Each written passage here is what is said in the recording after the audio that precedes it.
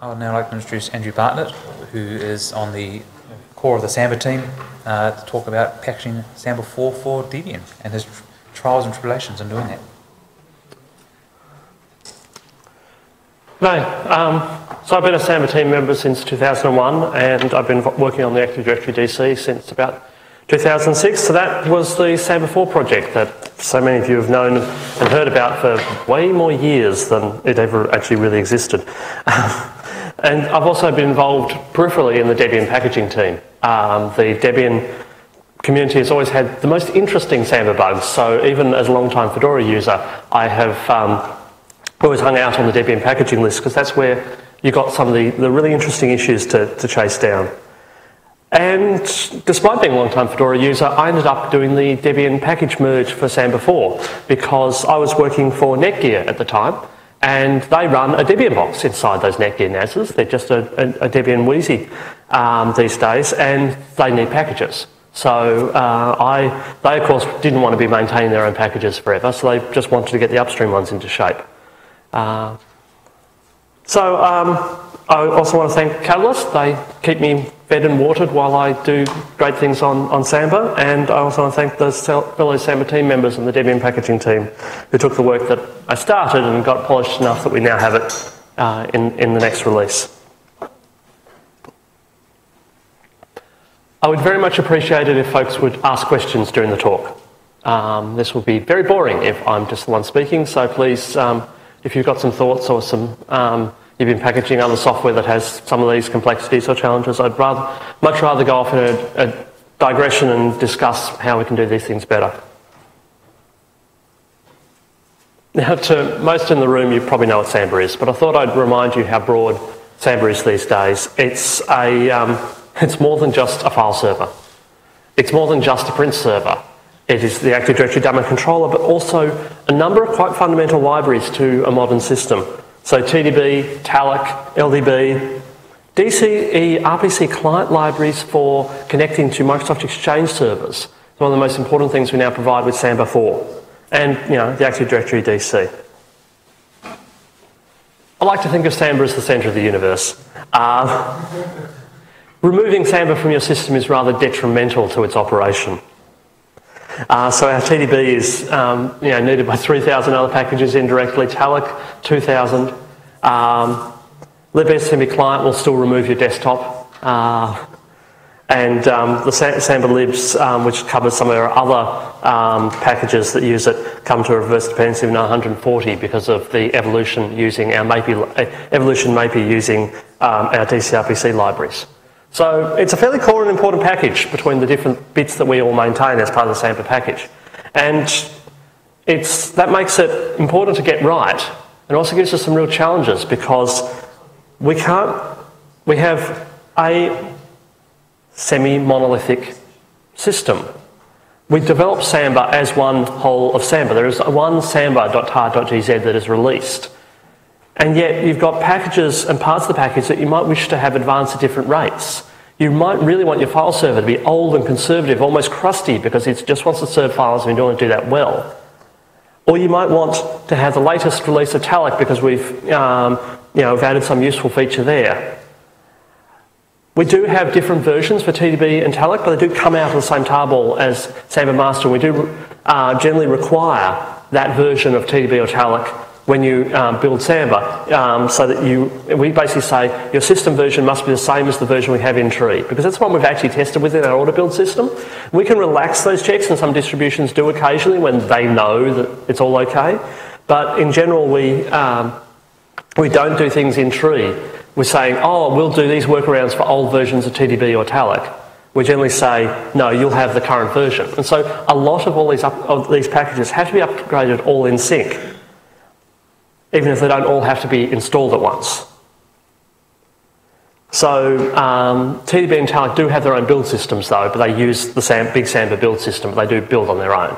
Um, so it's, um, and one of the other important things is that Samba uh, does follow the Debian rules and can build against system copies of TDB or Talloc or LDB.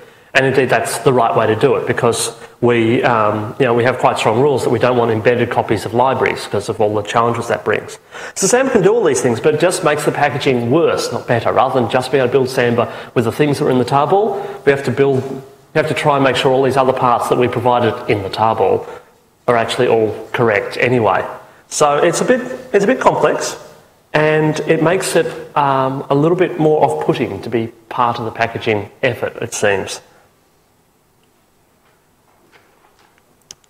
The other challenge that I alluded to earlier is that Samba is both very progressive and very conservative at the same time.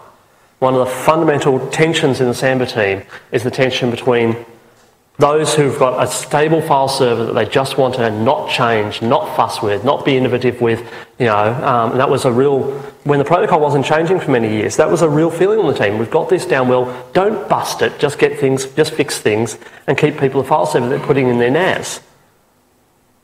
We've also got the other end where we were doing things like inventing Talloc a while back when Tridge did that work. Um, he did a lot of work improving that and took and or LDB or the whole Active Directory DC. And there we're trying to go the other way. We really want to be using things like we're using Python these days. We're wanting to be doing good work using modern available things, like we want to maybe use external libraries that aren't available everywhere.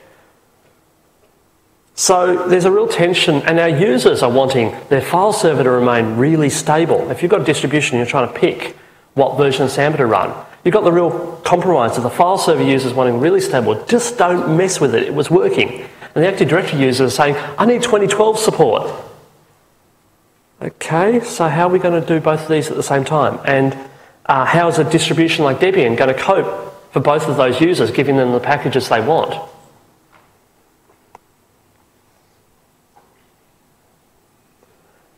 So one solution that we had to this, in a sense, was that Samba was packaged twice. Samba 4 was going to be the new Samba, and so a Samba 4 package forked to match the Samba 4 technology previews that we were making, particularly to support OpenChange. Um, we had Samba 4 in experimental, and we had Samba in main, and the two would sort of coexist with different versions it, you know, it mirrored the reality and the sad reality that we had on the Samba team where we effectively did fork. And um, we never really wanted to admit that, and we tried not to talk a lot about it, but the team really did split in two under the one, under the one banner.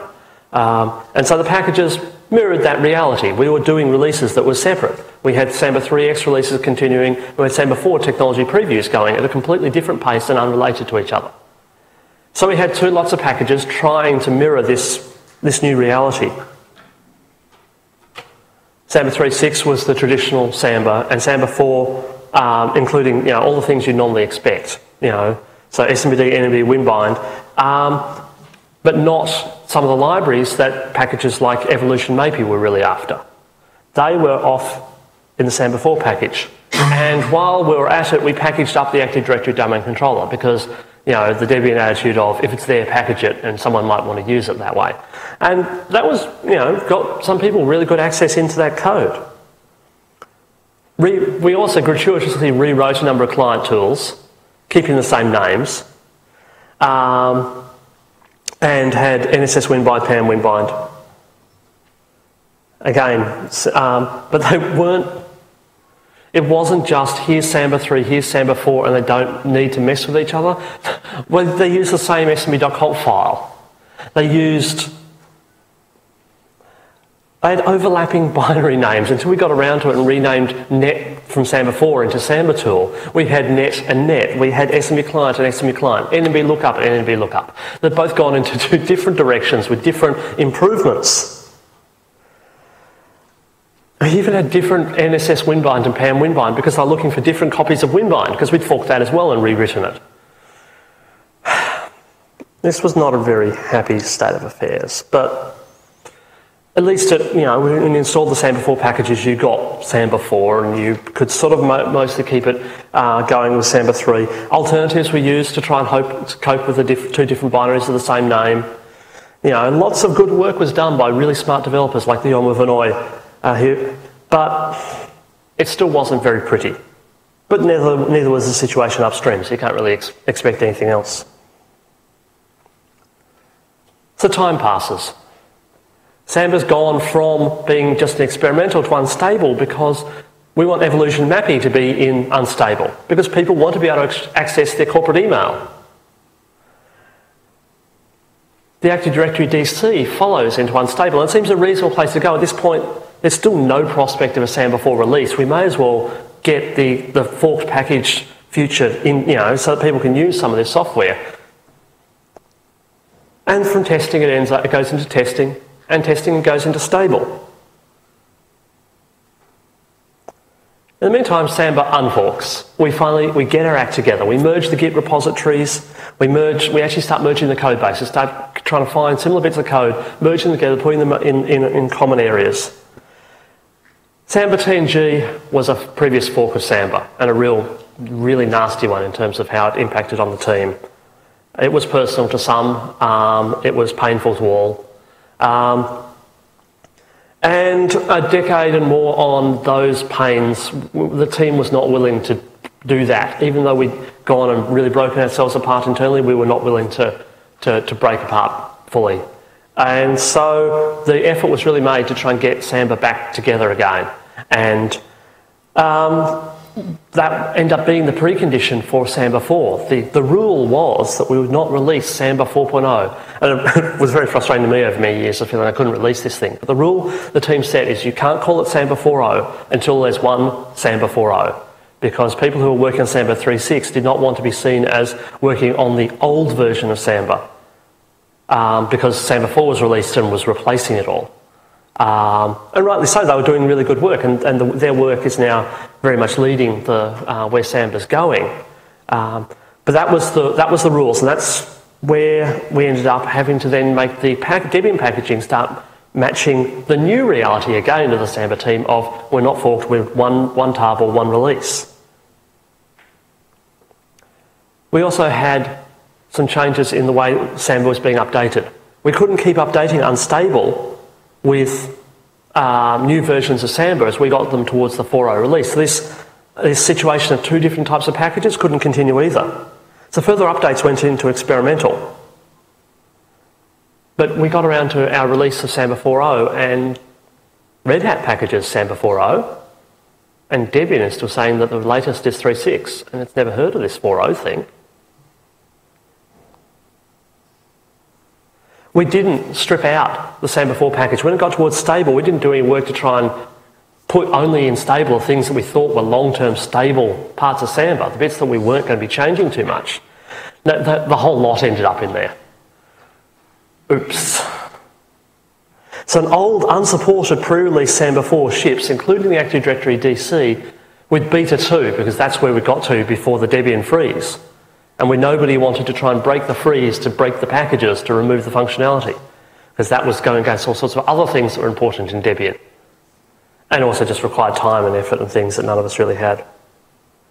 So Samba 4.0 releases and people go, oh, okay, apt-get installs Samba, oh, that's Samba 3.6, apt-get install Samba 4. Oh, I've got my new Samba 4 DC. Um, guys, that's the one we stopped working on six months ago, and there are lots of bugs we fixed since. And by the way, you're using the wrong file server because we developed a whole file server only to basically ditch it um, because we realised we didn't have the developers for main two, two file servers and the concepts, while some of them great, did not end up, you know, we're trying to pattern our new file server better, but none of the code is being used. There's, there's some interesting functionality it's got, but you know, we've got Debian there shipping in the stable release, shipping the file server that we don't want to maintain anymore, and we don't really, you know, we think it's well written, but not so good. And basically telling our users, there is no Debian package. If you want this, go off to a third-party vendor and install their package. So SerNet, uh, who supports our Samba XP conference and is a big force behind Samba, has a website, Enterprise Samba, and one of the things they provide is Samba packages um, that, that, install into a different location in your system and generally complementary. And so a lot of people are being um, you know, suggested, we'll go over and run SerNet packages. Um, So there's no simple upgrade path. There's so real way way forward for our users. There's no one wanting to just package Samba the way it had been packaged before. Because you could have, I suppose, done that. You could have said, oh, this looks just like Samba 3.6, just bring it over. We even had the old build system. We, we kept that around for one release. But no one really wanted to release a Samba 4.0 on Debian that didn't include all the bits that people thought Samba 4 was, which is like the Active Directory domain controller and all the client libraries and things. Red Hat did though.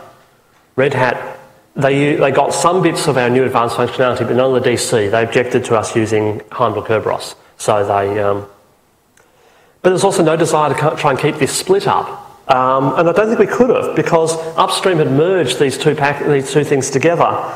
And because we've moved to using one file server, SMBD, that we've always had, and using that everywhere, we couldn't really start having the Samba 3 and Samba 4 packages be separate because they really had to be exactly the same versions and things like that. So the whole thing was basically stagnation. You know, a large amount of work required to move forward and no one really stepping up to do any of it because it was clearly going to be months worth of work to do. And, you know, in a volunteer community, these things don't just sort of happen because one wants it to. So I stepped up. Um, I'd done some RPMs before, so I was clearly qualified to do packaging. Um, I figured I could learn. I was working with smart folks. Um, and it didn't seem too hard. I had some things to start from. Netgear had had some things that they quickly hacked up and wanted improved. So um, we merged Samba 4.0. Uh, we got it into experimental in June of 2013 and we got it into unstable in October. Um, I haven't really got many slides about exactly what the work involved there was, but it was a lot of trying to juggle which binaries to go where and trying to come up with a, a set of packages that wasn't insanely long, yet not just Samba. Um, it's, um, for the first time, Samba has used um, shared libraries internally. So in the past, Samba essentially was statically linked. It would link uh, dynamically against system libraries. But as far as anything that was internal, like SMBD and NMBD share a lot of things in common, like lo loading the smb.conf. But essentially, they were statically linked from that perspective. And more particularly, they shared the DCRPC client libraries. All the parsing uh, of our protocols was separately in each of these binaries. And so these were now all shared. Um, so once you've got shared libraries, you've got to put those shared libraries into packages that the right things depend on and not have dependency loops and all manner of pain. Um, the Debian way of doing libraries is to have one library per package is the you know, preferred way of doing it, particularly around public libraries. Um, this turned out to be totally unmanageable. We have a lot of public libraries. Um, and when we try to do any reasonable grouping of it, you end up just with circular dependencies because while the libraries themselves mostly don't have circular dependencies, there's one spot where we do, um, the you know, the packages, once you had reasonable groupings, the packages all did, and it just was a nightmare. So we ended up with just with a Samba libs package. So essentially you have, which is basically, which is the bulk of Samba. So the one that is SMBD contains, is tiny because all the functionality is somewhere else in the, in the shared libraries. And you've got this thing that has main and a couple of, you know, a couple of support C files, but they end up jumping into a library. In fact, there's a big library for SMBD because we share that uh, between SMBD and a torture process that basically does um, you test some things. Um, so it's still very difficult to split up, but we've got packages for PAM Winbind, um, LibSMB client, the things that you would that you that you really sort of notice on their own, and we basically don't consume directly. Um,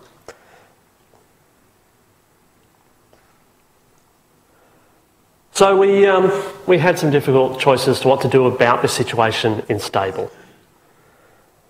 We basically ended up deciding that shipping beta two of Samba four to users was just dangerous. Um, you know, the security issues coming forward and other bits and pieces. No one was updating no one was looking at it. So we basically emptied the packages of their binaries. So um, to, you know, to force those pack, and I think we set some conflicts and things to try and force the packages off the system. But if, if you did if you did update them, you would basically get a package without anything in there and a README saying, "Sorry, this has gone away." So that was pretty difficult and really shouldn't have been done in stable. It really breaks all the rules of Debian stable. Um, and it's something we really should have had the gumption to do well before the release. Um, we've got updated packages in. Um, the, the packages were still being updated a little bit experimental, but even, even those, you know, were getting old. Um, so mainly the way that we've basically told users to go forward is to go, then move to backports. So the backports do have a current Samba, and you can install that on, on current Wheezy. Um, but it was a it was a mess, and telling people you know your functionality's gone away, but it's over in backports, but you'll have to you know up, upgrade is a little bit. It's not how I'd like to be doing it. Um,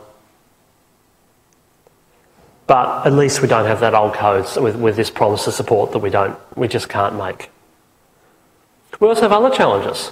One of the big things that Debian is about is about using the system libraries, and so we use the system Heimdal.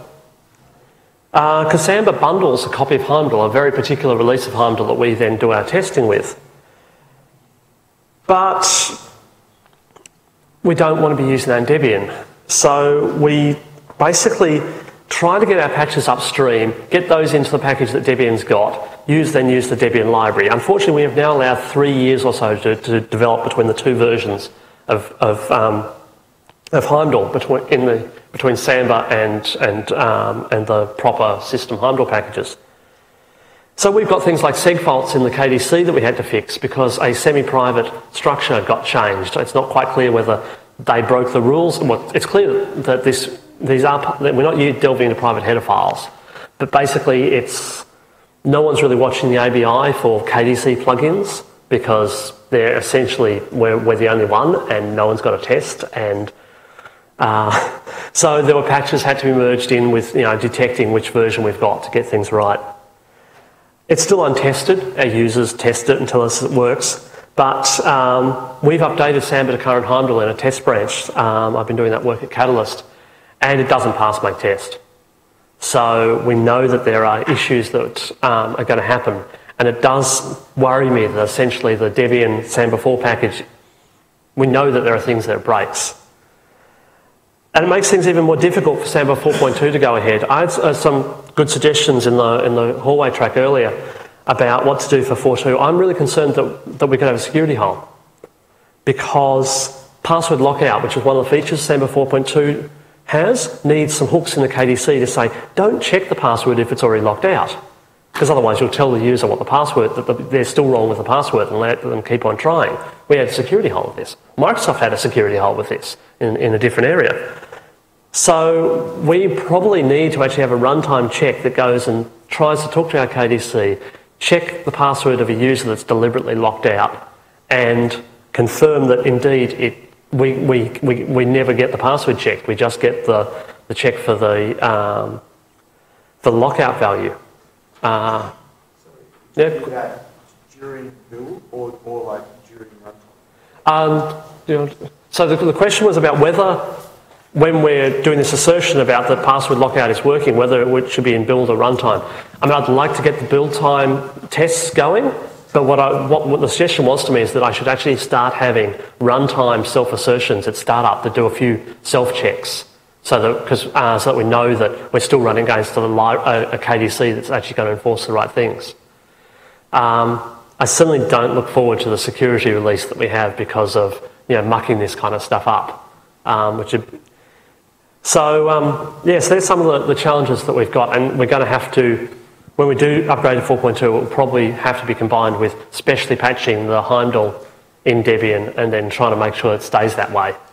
Um, password lockout's an interesting one because it's one of the few failures you can, where you can open a security hole where you don't notice it by seg faults or those kind of things. It's just about not doing something. You're not checking a lockout flag before you do the normal thing as expected. Um, so it's a subtle kind of bug like that, that unless you're really watching, you can get. And um, Microsoft had a similar thing for the same kind of reasons. Um, so I want make test in Debian. Um, our test suite is very comprehensive. It takes a couple of hours. Um, I'd really like to be able to test the whole Debian package, but not just, and as well as the KDC, because of the reasons we talk about. There's some work that Red Hat's been doing um, to try and get make tests to run against the different um, their code base. They want to use MIT Kerberos, And so they've changed to make tests to work from something that worked on compile. Um, we, would- we would actually uh, override all the socket functions using a header file and a, and a system called Socket Wrapper. And we were able to create an entirely fake networking layer inside Samba um, and a number of other fake layers. Um, uh, one of the guys, Andreas Schneider from Red Hat, has done some great work doing that with LD preload. And that gives us some great advantages because while you don't want to compile your production packages with Socket Wrapper, you certainly could allow them to be preloaded.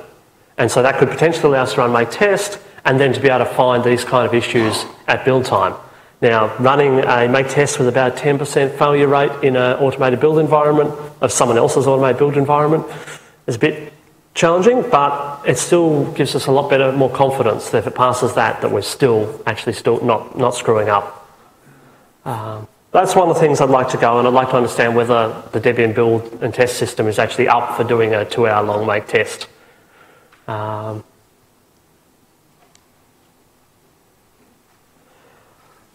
so, long-term implications of all this. We missed the boat on Wheezy. Um, so we've still got an old version there. So no, there's no upstream support for functionality issues in the version of Samba in current Debian stable. Um, there's even there was, was for the six month, first six months, but after that's gone. Now it's in security support, but it's about to leave security support as soon as we release Samba 4.2 in the next month or two. Do we? What do we promise our users?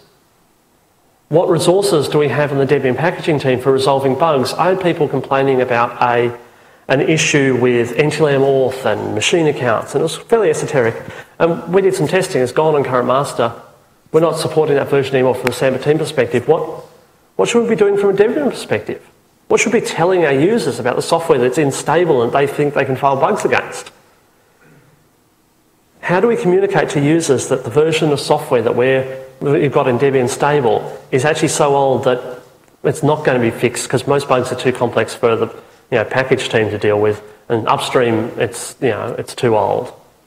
Um, now, it turns out we're a little more flexible in that, in that um, you know, if you're, you may well find and get people to, to patch that. We could patch it up in Debian if you're really, really keen, if it was really bad enough.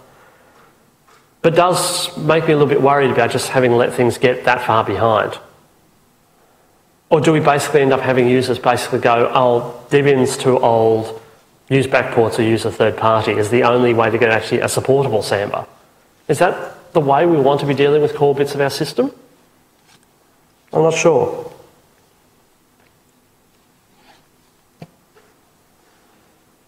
How do we keep Samba up to date for our users? Even when Samba is in a mode of we only make fixes to Samba that have a bug filed against it in our bug system as upstream, it seems to be very difficult to get those updated uh, versions of Samba into Debian because Debian will only put, uh, up, allow an upload if there's a Debian bug for every, every change that's in there and generally won't allow a version to be updated.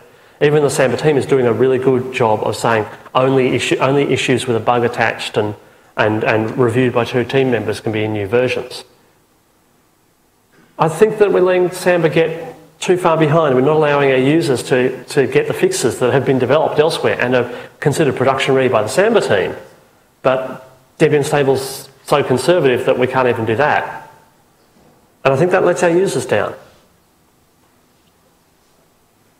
And how do we do this better next time? I mean, I hope Samba doesn't fork again. I really hope Samba doesn't fork again. It was not fun.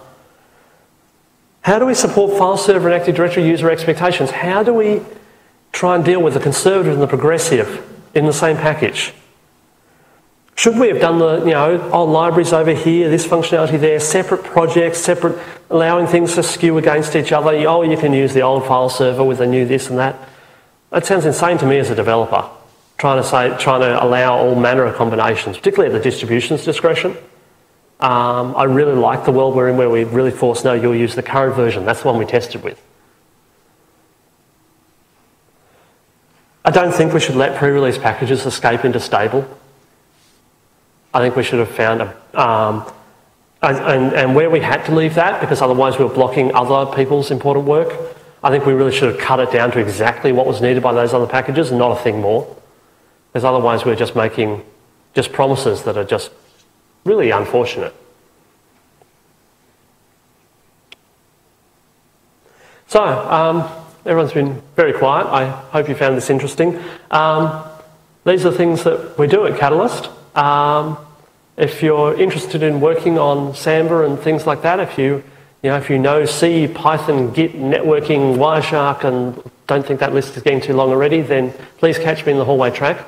I'm trying to convince the bosses that we have a stunning candidate who wants to join me and increase the size of my Samba team, it'll be a lot easier with a, a, a name to point to. Um, but you know, Catalyst has been a, a, really fun place to work for me for the last 18 months. They brought me over to Wellington to work on Samba, and um, yeah, I would uh, very much encourage you know, the smart folks in this room that are looking for somewhere else to be that, um, that Catalyst might be somewhere you should uh, think about joining. Okay. Any, any questions? I have a whole bunch of questions. oh, please. please. Um, first of all, um, uh, what's what was the history behind the the earlier fork of Samba? What what why why was that happening? Was it was why, why, did, why did Samba fork in the first place? So Samba 4 took off in after the Samba 3.0 series. Sorry, I was referring to the, the original fork that was the TNG. That's right. Yeah. Oh, so why did Samba TNG? Um, most of that history is before me, and, and I, I won't really try and oh, go okay, into so that. Yeah. That was before I joined joined the team. Um, but Samba 4 did, forked off for reasons that were relatively similar in that it's that, that conservative versus progressive stuff um, was a bit of it um, for, for Samba 4. Samba, the, the file server area was getting very, um, very conservative and very resistant to change. And a bunch of, and it, at that time we thought we were building the next version of Samba. But we took it, we bit off far more than we could chew. Far more was rewritten. Rather than doing incremental rewrite and get it ready for release, it just, it just kept on going as to new and fun stuff off, you know, in, a, in, a, essentially play, you know, in an area that wasn't aimed back at releases. And then a, a strange thing happened. We were the only, at that time, those of us working Samba 4 were the only, really the only developers working. But one other, one developer who had um, a lot of free time from the way his company had restructured, um, was able to, he, he just decided, no, I'm going to fix some fix things in Samba 3. And he really got some momentum going on there. So suddenly we had two branches with momentum. And that then meant there wasn't any clear pattern for where either was going. And it was just very poorly managed um, in hindsight by the team. We didn't really know what we were getting ourselves into. Um, you know, we were in Dunedin and doing a, a first demonstration of Active Directory DC. We thought we'd be finished on that fairly shortly after that. You know, we thought it was and uh, so there were lots of, lot, but that's, that's how Samba 3.4 forked. But the TNG one's um, a story for a different day, a, small, and a, a smaller audience. Um, this is a, a question. Uh, I, don't, I, don't, want to hog the microphone if somebody else wants to ask a question. Uh, this is a question more related to the community aspect of things, and you might not have an answer. But um, uh, as a Samba user and systems administrator, it um, it can be a little frustrating getting information. The, the wiki is good for what it covers generally, but it some parts are a little out of date, and um, it, it, tends to be IRC or the um, mailing lists that have the the best, most responsive place to go. It, it, it, seems unusual in that forums these days are normally a, a, place to go for that kind of information, but there, there is no official Samba forum. You know there Indeed, there isn't. Um, the Samba team is really quite conservative in many ways, um, and yeah, most of us as developers uh, just are not interested in trying to run a forum. Uh, we work on mail. We're used to dealing with mail you know, um, you know, these modern social networky things. You know, we have IRC, we have instant chat on IRC, we have email. It fulfills our basic needs. Uh, so really, it's a, it's a developer conservative thing. We, so we haven't wanted to start setting up a. We didn't want to set up a forum where none of us would be there. Um, so you can use there are online interfaces that make our mailing list look like a forum. If you really need a web forum kind of look to it, but we've um, that, that's that's why we don't have a, a forum. Um, yeah. Uh, my final question was related, related to the, the file server inside the early versions of Samba 4. Um, could you elaborate on what features um, So- that, that would have been? Yeah, so the file server that was in early Samba 4, we now call the NTVFS file server, and it was structured uh, where the SMBD has a VFS layer that cl- most closely resembles POSIX with a boatload of extensions on it for the things that POSIX can't do and where we've... And so it's a mix of POSIX and then some NT semantics where you can't represent them by POSIX. I should clarify, when you open a file in window in, in Unix, you've got open, you've got three arguments, right? You know, the file name, the mode, and um, I think something else. You know, it's really simple. On Windows, you've got about 26. Um, and so there are a lot more semantics that you pass in inside that open call and that have to be atomically operated on in that open. So you, you, you get share modes, which are a way of saying no one else can touch this file, absolutely. You can, um, you can do set uh, ACLs if you're getting a new file, you set what, uh, what access bits you want. Um, all manner of things can be done in that one call. So that all that gets, um, gets put into and passed down to the VFS. So the Samba 3 layer tries to be like POSIX, but with these weird exceptions. A bit of a dog's breakfast, but it's, it's relatively simple to understand because you've got open, close, read, write, and a few odd ones. Samba 4 tried to say, well, we know that, that our protocol is really a thin shim on, on top of NTFS. So why don't we actually provide a protocol layer that where the full richness of the network protocol is passed all the way down to the module to deal with, and so that we can implement, for example, a full CIFS proxy, and we have one, that takes every, every packet and maps it all the way down to C structures and then sends it back out the other side. Um, this should allow a file system module to implement the full semantics of NT um, if it's got a richer file system that can do special things um, because it can see the whole request, not a dumbed down version of the request. Um, and so it's a really good architecture for designing how Samba could be done. It was what was essentially how Likewise, which was a competing SMB server, uh, got implemented. Um, but because so much was written from scratch, and there were a lot of VFS modules that SMBD had. There wasn't. Um, everyone said, "Oh, you'll never finish it because you'll need all the, all the all the VFS modules that exist will have to be ported and all manner of other things." I actually wish I'd glued the two together. I, um, I, I reckon we could have had one on top of the other. Um, okay. Um, but we, um, Yes, that was the, that was the difference. A real different architecture. One of real trying to be POSIX plus extensions. The other trying to be Windows and you know the win, Windows full you know richness um, built built as the as the layers. And so that that was the difference between the two servers. And one was you know rewritten from scratch, and one was the old one, been with a lot of really good refactoring over time. And um, the SMB2 file server uh, was first built in Samba 4, but then that work was done in Samba in the Samba 3 stuff. Um, so yeah, it's, and sadly just didn't continue. I think it's a great architecture, but it's not it's not got anyone maintaining it. It's not got. Um, and it's mostly a nice model for where we might go in the future. So there's no plans for it to um, make its way eventually into. No, there's, there's no, it's, it, it remains basically a developer reference for how we could have built something. And the CIFS proxy is really interesting because it's the only CIFS proxy that I'm aware of. Um, but it doesn't do SMB2 really well. It doesn't do SMB3. You know, it's just a snapshot as it was seven years ago, really, uh, when we moved from doing file server development to doing AD development. Um, there's a great talk, if you want to understand about it, all, all the way back in Perth, where Tridge talks about a new VFS for Samba. Um, and that was a long time ago, but that's, uh, when this that's when this design was first being put together and, what, and explains why we were trying to do it.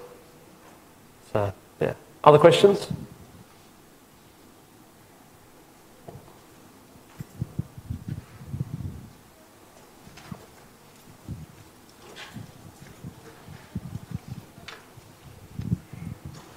I'm more at the users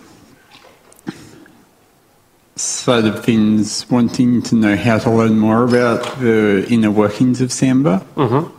Because I'm sort of interfacing with Samba and the, I keep bumping across it just not working. Okay. so how do what's the best way to learn more to try and be able to fix the problems myself with it and turn up the debug level and just start diving around the code that's related. It's a big and difficult project to get into, but that's where I'd start is just crank up the debug and just try and understand what it's doing. Um, I don't have much more I can really suggest in a short question and answer like this. Uh, catch me in the hallway track and tell me a bit more about what you're, what you're trying to do. okay.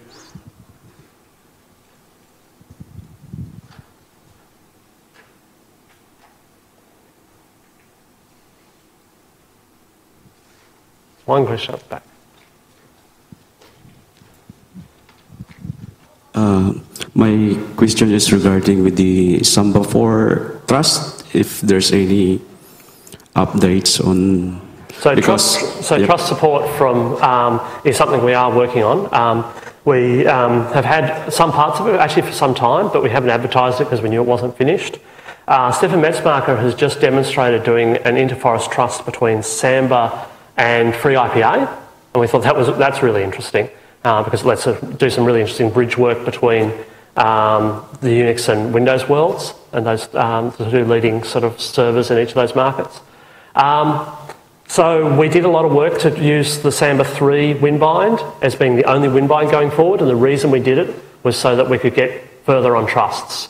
Um, we haven't really enabled any of the other features, but we got it. We did that work because we knew that was going to be the, that was the blocker for doing trusts. Um, so nothing's official, nothing will be in Samba uh, 4.2 yet, but um, some slow progress is being made. Uh, there's, there's a surprising amount of it working under the hood, but we haven't been willing to start telling people it's there until we finish some things. Um, but it's not like there's no code and, you know, no, um, and, and, no, and no hope. It's more that we know there's still more to do. Um, so maybe you'll see it in 4.3. Best way to do it is to step up and help us work on the development. Um, that's, you know, there's, there's lots of stuff. Um, certainly is hard to start on, but the only way we're going to get forward is if we get more developers interested in things, and I'm very happy to help new developers get up to speed.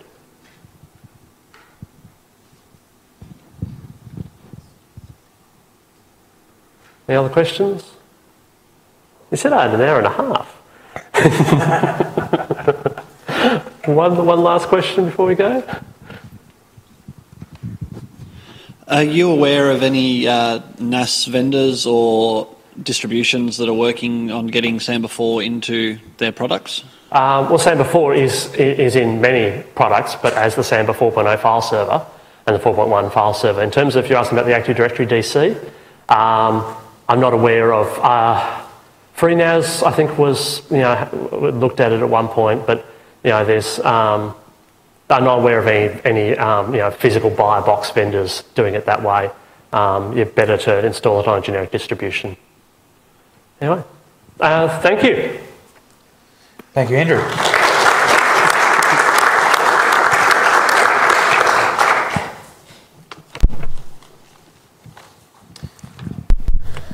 So next up, we have got uh, Angus Lees talking about getting the Rust programming language or bootstrapping a new language into Debian.